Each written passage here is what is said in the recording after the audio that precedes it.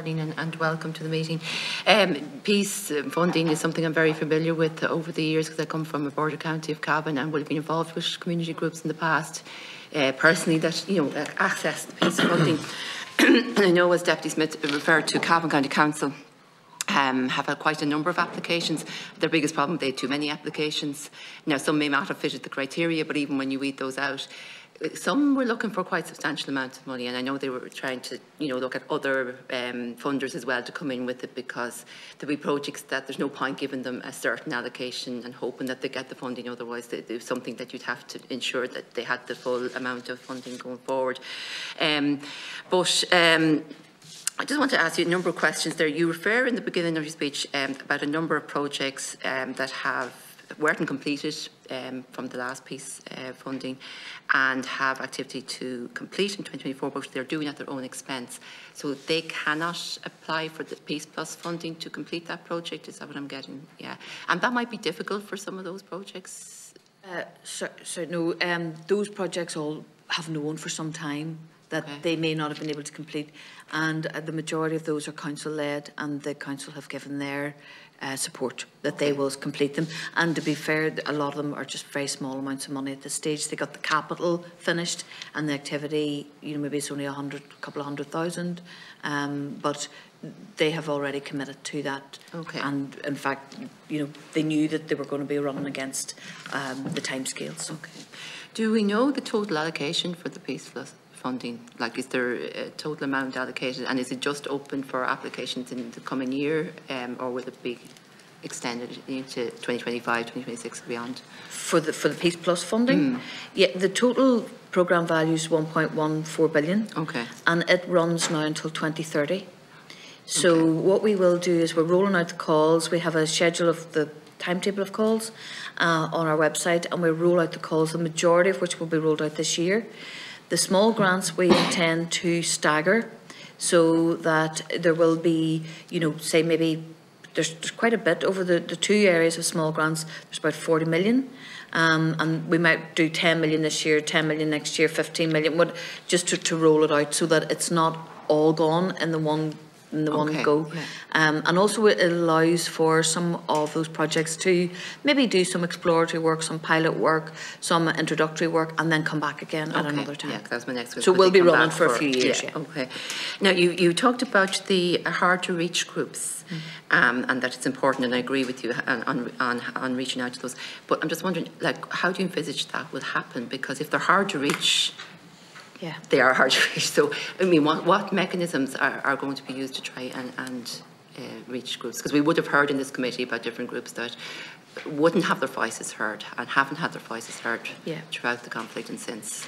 Yeah, well, we were making yeah, sure we did actually did some work. Paul, maybe you might want to expand on. it. We did some work just before the program actually opened on um, how we could engage with those groups and what were the challenges and why they weren't coming forward.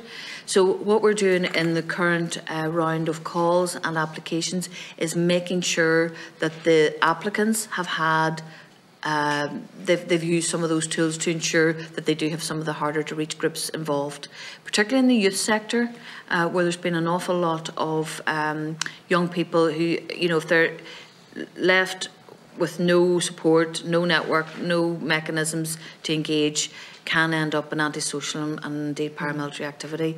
So we're trying to, we really try to focus on how we engage with the youth um, but in relation to activities for everything else, we're also looking for new communities to be involved as well as bringing forward the really hard to reach groups that have not become involved.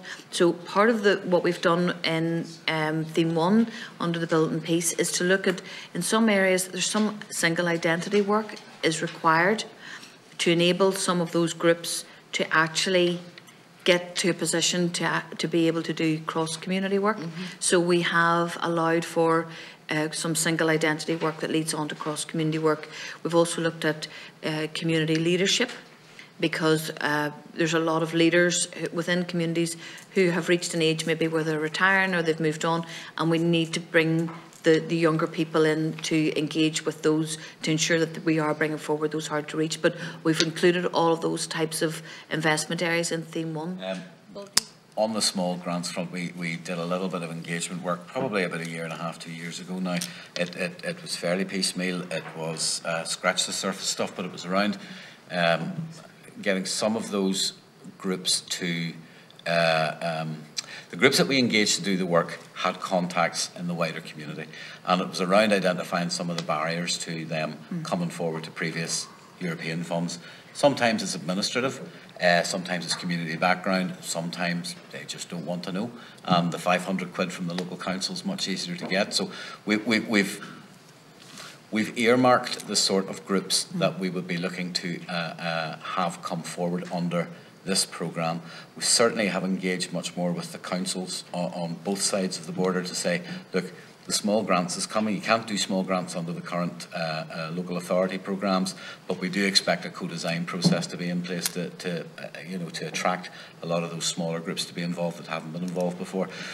I, th I think the, the, the, proof of the pudding will be in the eating. I think the, the, the first year we do this, I, I think we'll have a lot of um, the already knowns coming forward, but then the osmosis of having those grants trickle out mm. over the next couple of years should be able to attract some more of those groups that are involved. And, and look, uh, uh, uh, we, we are going to engage a, a, what I call a boots on the ground organisation.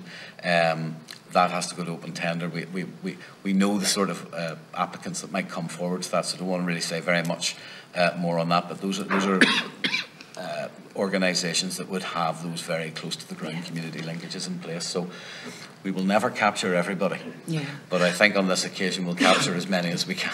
Yeah, no. so that it has been designed in such a way that there's funding there to try to access those hard to reach groups mm. and we'll be making sure that you know we make an effort to do that and that all the applicants have to also ensure that they're doing that and the small grants will I think allow people to have a first experience with, yeah. with the programme um, and maybe, as I said, with the single identity work as well, been uh, allowed for the, those groups that that should help. If, if I could add, th thank you, Chair. If, if I could add, the, the, from an assessment process as well, um, we have strengthened the, the horizontal principles that are applied to an application to ensure that if, if they are, let's call it, our, our more standard um, applicants, that they are reaching out beyond um, maybe some of, of, of, their normal partners.